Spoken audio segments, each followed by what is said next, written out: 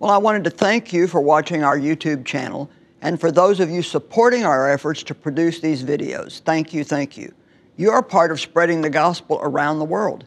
If you're not a partner, prayerfully consider joining our efforts to help others the way you've been helped through the teachings. We can only imagine all the places God sends these videos once we post them online. But because it's filled with His Word, we know it's bringing light into dark places. Scan our QR code and give today. It's a decision that provides everlasting benefits to you and those waiting to see these messages. This program is made possible by the partners of Joyce Meyer Ministries. And every one of you who have a dream in your heart and you've been waiting a long time, I want you to close your eyes and just listen to this. If it seems slow, wait for it. It will surely come. It will not delay. I do what I do because I've seen God's power transform my own life, and He will do it for you. The key to everything is found in God's Word. I'm Joyce Meyer, and I believe that God can heal you everywhere you hurt. Well, what kind of problems would it create if we knew when everything was going to take place? Well, first of all, life would be very boring because we need a little mystery. I like to watch mysteries. And we wouldn't have to trust God to bring things to pass in our life if we knew when everything was going to happen. And that wouldn't be good because trusting God is one of the main things that we need to be doing. That's a large part of our relationship with Him. Not knowing keeps us from getting spiritually lazy.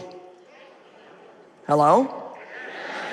Not knowing keeps us from getting spiritually lazy. It keeps us pursuing God and seeking God and praying and, and learning and wanting to grow. But if you knew everything and you knew when everything was going to happen, you wouldn't want any of that. Guess what? God knows what He's doing. And if we knew when, we might be tempted to live in sin until the time got close. No, you say yes. God withholds knowledge from us on purpose, and we need to believe that our times are in His hands and that when the time is right, no devil in hell and no person on earth can stop God from moving in your life. Did you hear me?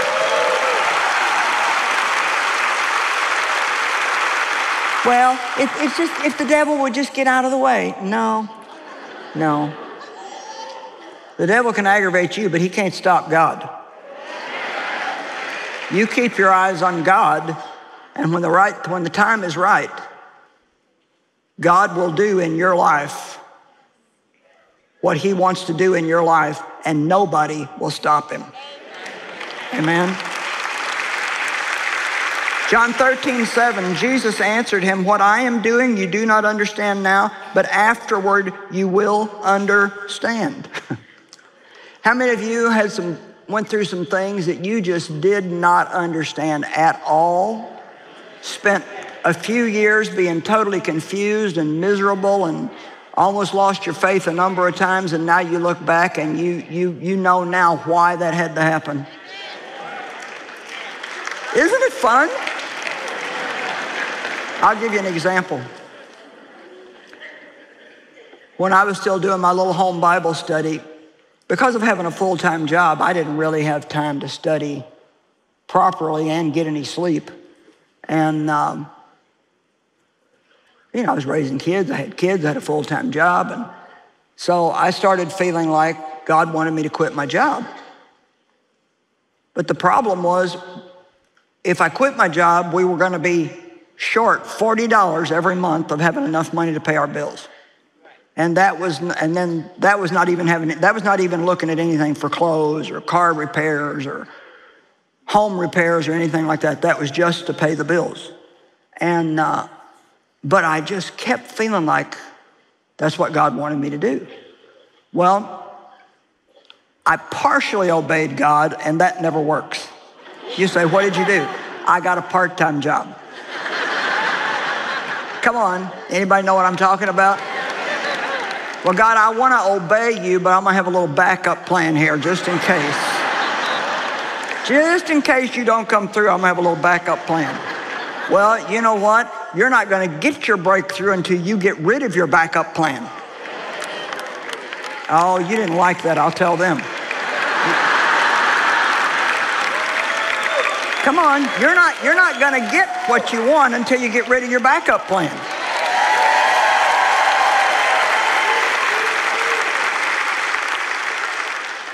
See, I'll preach to you more if you act better. Just think about that. And so I finally, I got fired from my part-time job, which I knew immediately was God because I was, I'd never been fired from a job. I wasn't the kind of person that got fired from a job. But I mean, from the time I went to work at that place, I couldn't do anything right. I mean, it was ridiculous the mistakes that I made. I would have fired me. And so I quit my job and I was so scared. Oh my gosh, I was scared. And for six years, every month, supernaturally, some way, God provided that money that we needed to pay our bills.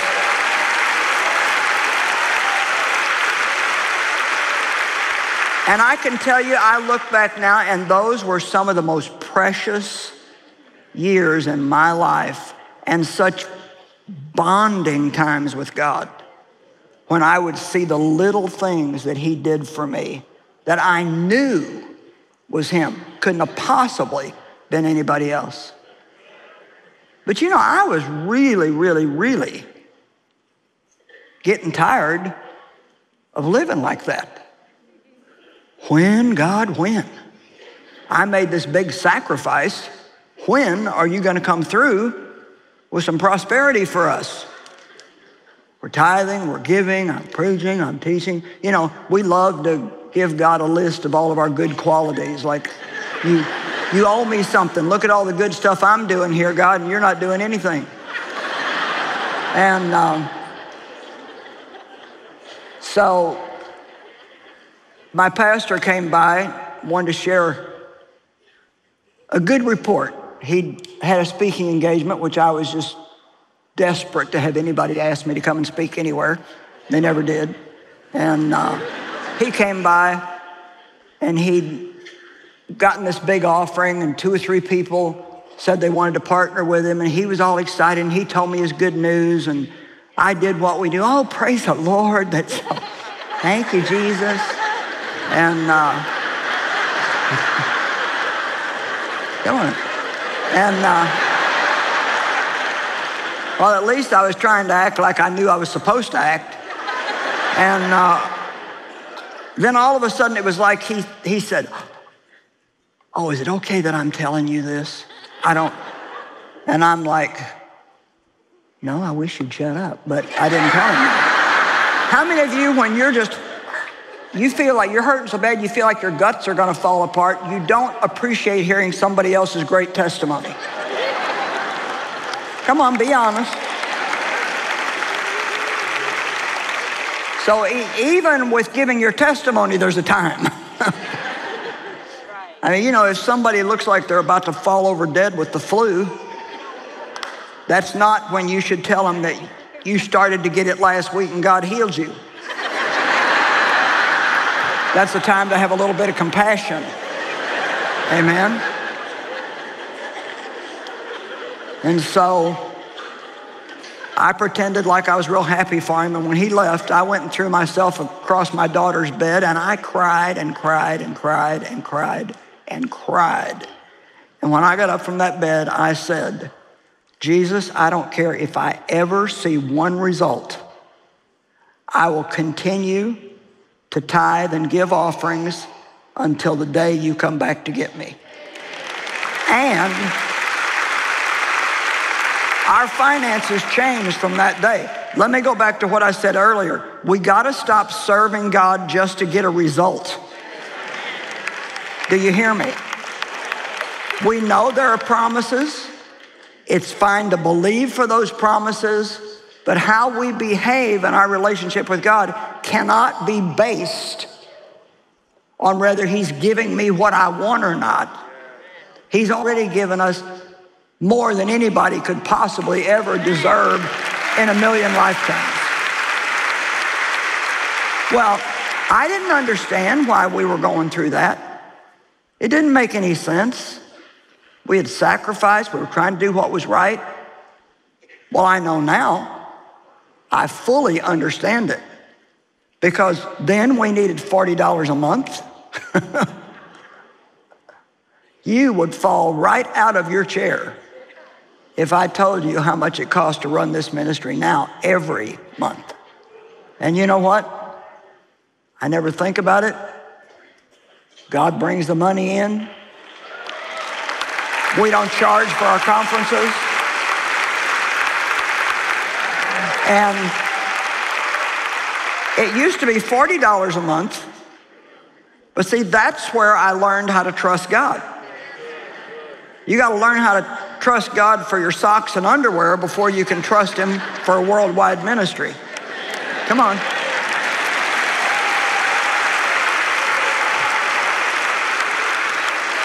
And I still have a notebook at home where I wrote my little prayer list to God back in the 70s.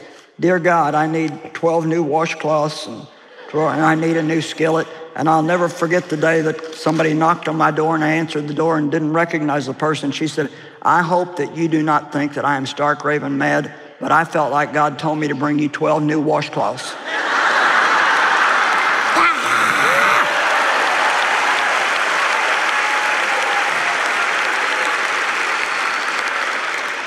I'm, that's the kind of stuff that knits you to God. I mean, because I knew that that had to be God. And see, saying we trust God is one thing, but when we really trust God, we enter his rest.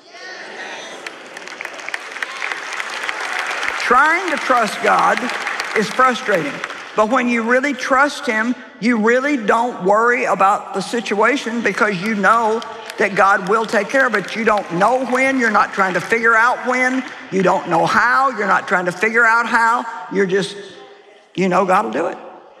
And if God doesn't do it, then maybe it's not supposed to be done.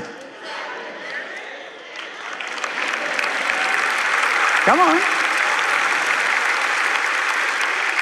You know, it's just possible, remote, I know, but it is just possible that you're believing God for something that you're not supposed to have. Ooh, that didn't go over good at all, did it? Well, we're going to see how spiritual they really are. It's just possible that you're believing God for something you're not supposed to have.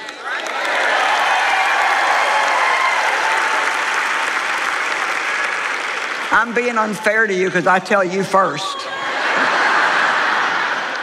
and so you have to take the hit, and they've had time to think it over by the time I get over there. But that, that's true. I mean, if God wants you to have it, can't God give it to you? And if He doesn't, then it's either not time or it's not right. And if we're really smart, we're not going to want anything that God doesn't want us to have, and we surely don't want it out of season. Because if you're not prepared to take care of it, then it just becomes a burden to you.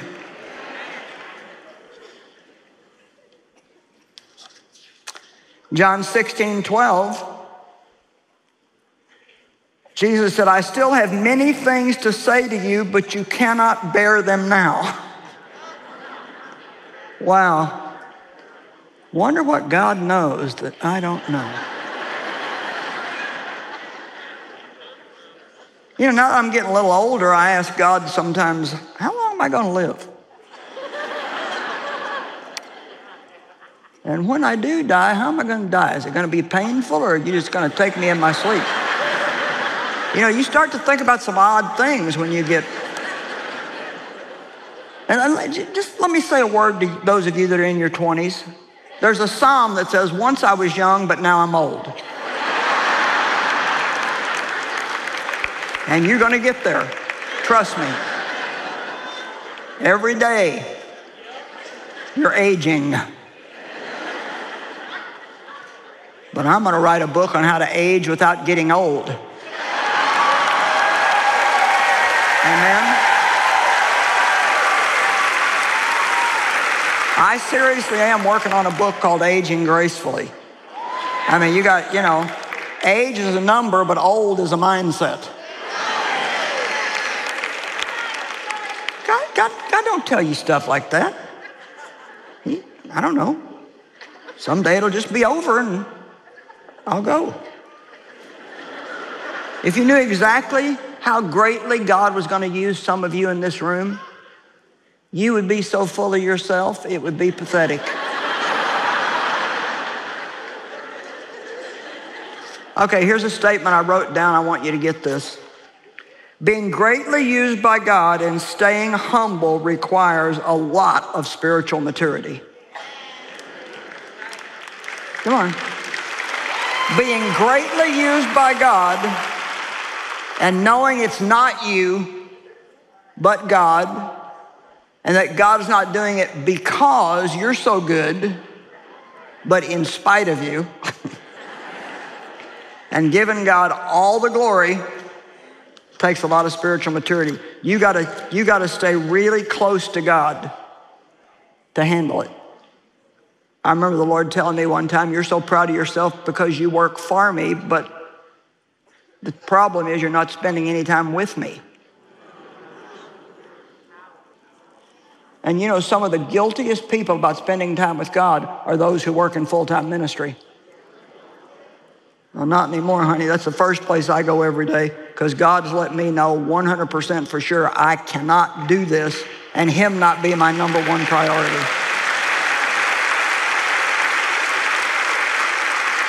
My times are in your hands. What about when God only shows you part of something? kind of like the appetizer. you know what? Act on what you know, but don't worry about what you don't know. See, a lot of people won't act until they know everything, and so they never know everything because they won't act on the little bit that they do know. Take whatever opportunities in front of you, be faithful over little things. Come on, be faithful over little things be faithful over little things. Well, I tell you what, Sister Joyce, if I had a million dollars, I'd give it to you. No, you wouldn't. Because if you got 10, then you wouldn't even give that.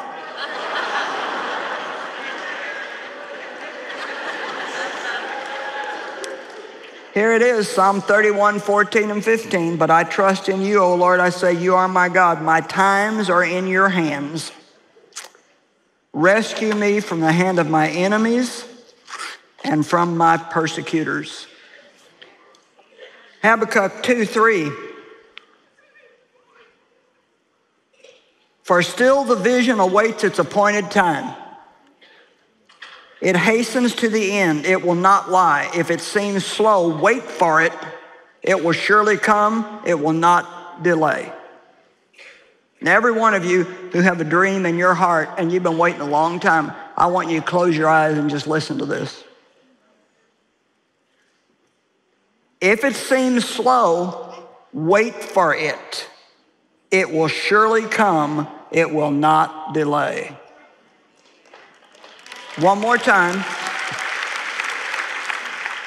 If it seems slow, wait for it. It will surely come. It will not delay. Everybody say at the right time. Now, your journey may be long, but you can decide tonight to enjoy it. You can enjoy the time that you're waiting on God if you'll make up your mind to do it. Don't be moved emotionally. Jesus refused to be moved emotionally. Don't try to birth something premature. Ecclesiastes 3 says everything is beautiful in its time, but it's not so beautiful out of its time. And the devil will provide opportunities for you. When I was so, like, so strongly wanting my ministry to grow and be bigger, oh my gosh, it was just all, all I could think about. All, yeah. Big, big. We just, we're addicted to big. We gotta, everything's got to be big. And a promoter, yes, they have promoters for preachers too. I was out in California and he contacted us and said, if you'll sign on with me and let me be your agent, I can get you all kinds of engagements and make you famous. Well, temptation. we can work around God's plan and get things moving here. Come on, you know what I'm talking about. But that afternoon, I laid on my bed and was praying before I went to do the meeting that night, and I knew in the pit of my gut that was not what God wanted me to do. And so I finally just said, Well, God, either you'll promote me or I'll never get promoted because I'm not going to do it in the flesh.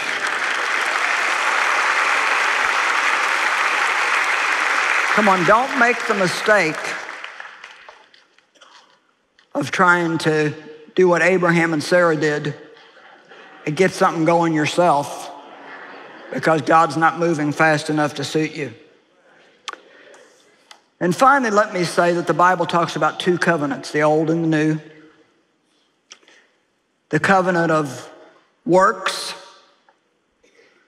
the covenant of grace the covenant, covenant of working and following rules and regulations and then thinking that you deserve something because of that, or the covenant of trusting God, believing Him, being obedient to Him, and letting Him do things for you because of His favor. It's represented, these covenants are represented in Galatians. It talks about how it's represented by two different women, Hagar and Sarah. And if you know the story, then that's good. If not, I'm just going to tell you just enough so you're not totally lost. God gave Abraham a promise that he would have a child from his own body. But he and Sarah were both past childbearing years. So it had to be a miracle. And in Romans 4, it says, Abraham, all human reason for hope being gone, he hoped on in faith. See, even when you don't have one natural reason to hope, you can hope on in faith because God can do the impossible. And it said, no doubt or unbelief made him waver concerning the promise of God. Don't think the doubt and unbelief won't come against you because it will. Let it come, but don't let it change you. No doubt or unbelief made him waver concerning the promise of God. So he believed God, but in the process of this waiting, Sarah got a bright idea that she would take Hagar, her handmaid, and give him to Abraham as a secondary wife. Well, we already know any woman in the room knows that's stupid. I notice Abraham didn't turn her down, but you know. So she got pregnant, gave birth to Ishmael. His name means man of war. Finally, after a good number of years had gone by, God did visit Sarah, and she had a baby named Isaac, and his name means laughter. So you got your choice. you can do it your way and have war or you can wait on God and laugh all the way home to Jesus. Amen. Amen.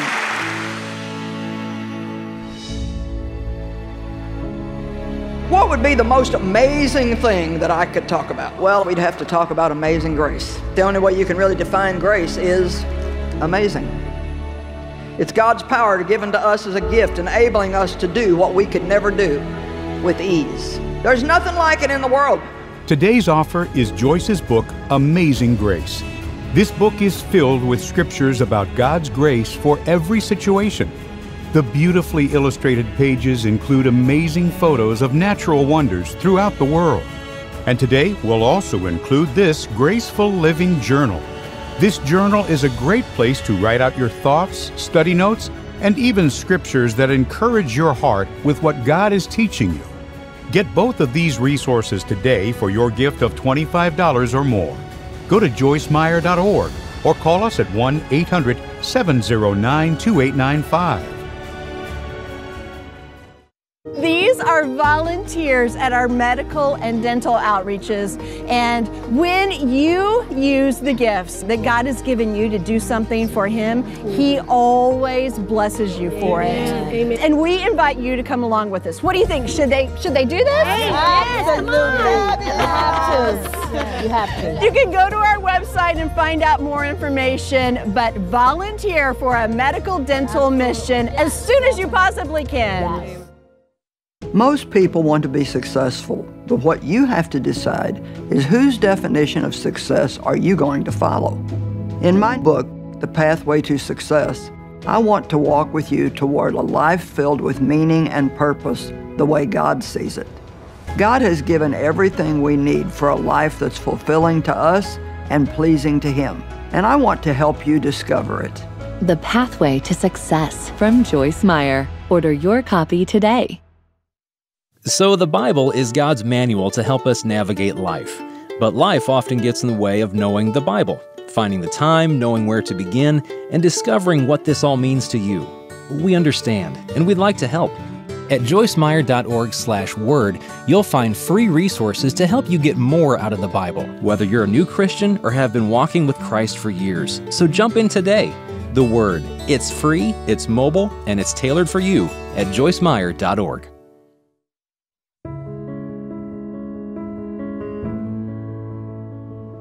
I still felt like God wanted to use me. I mean, I still felt like I still had this dream. I was still studying. We were still struggling financially.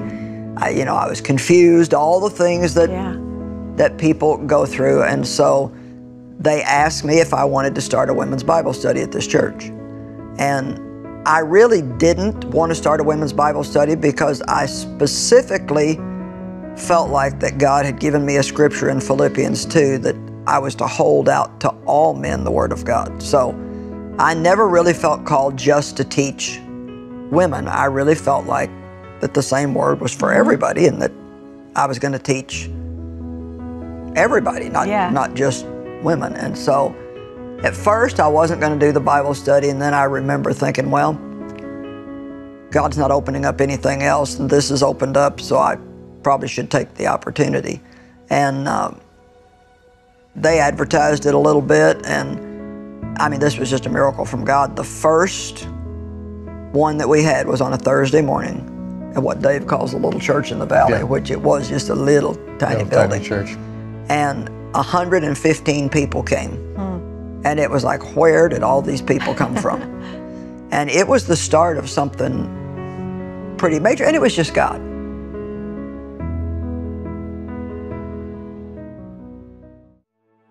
We hope you enjoy today's program.